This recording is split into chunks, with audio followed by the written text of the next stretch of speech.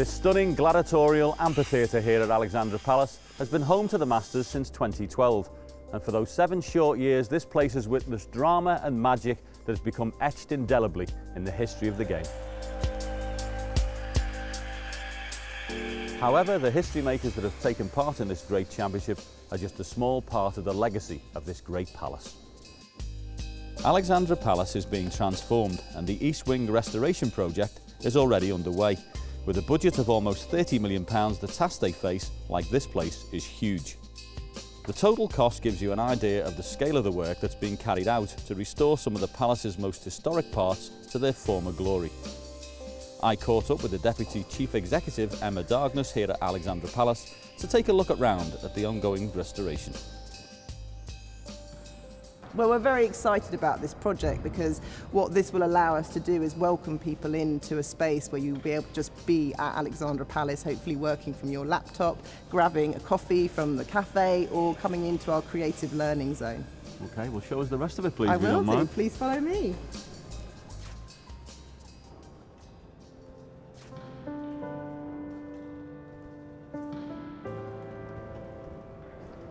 This is our beautiful Victorian theatre, which opened in 1875, but it fell into dereliction quite quickly. So actually, it's been lost to three generations. So nearly Wow. 90 years, um, it has been hidden from the public. So we've got this real amazing opportunity now to give it back. The plan is that we are actually keeping it as arrested decay because of the fact that it wasn't ever a shiny theatre as such. It wouldn't really be true to the space if we started to break open the gold leaf. Incredible. Are we going to the top? We are. Oh no.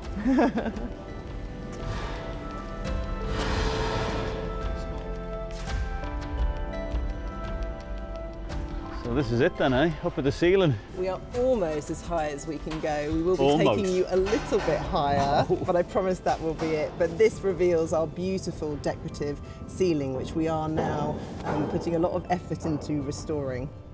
You, you, you- you are kidding me, we can't go any higher than this. This is the roof. We can always go a little bit higher at Alexandra Palace.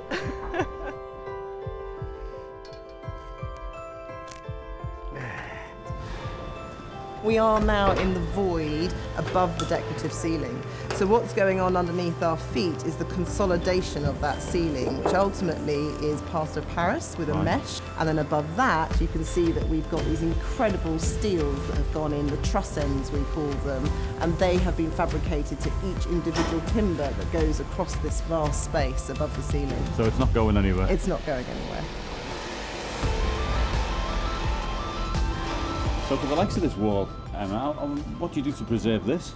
Well, it's actually quite a complicated process to actually ensure that it stays looking exactly as it does at the moment. But ultimately, um, we have professionals that come in and they will put um, a resin, a very clear, fine resin over the wall, which ultimately encapsulates what you see today, but also stops it from decaying any further.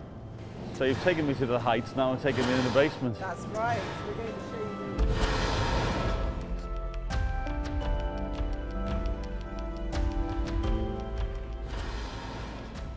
So where are we now? So we are now underneath the theatre stage and what you can see in front of you is the most extraordinary example of Victorian wooden working stage machinery. Um, and the way it would have worked is that you have these traps that you can see to either side and your performers would have sat in the traps and then they would have been levered through the stage to shoot up above as part of the performance.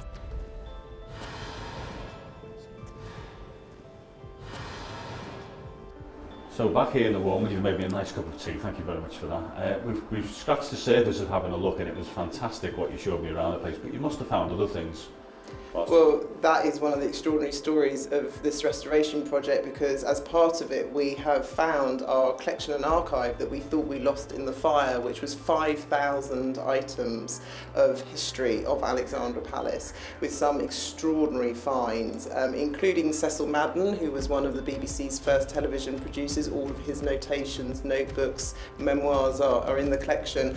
Um, but we also found things that we believe potentially to be Owen Jones' original drawings which we're now having um, verified, and the story just goes on. And we were very fortunate that um, Google Arts and Culture shipped one of only seven scanners in the world to Alexandra Palace, which meant that we've been able to scan every single one of those items.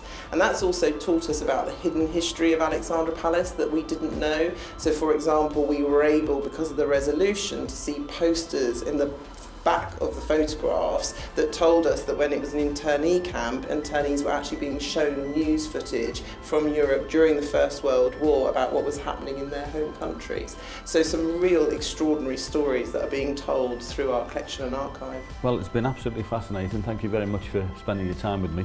But I've got to go because I've got a final to see to, so I'll see you later. Thank you.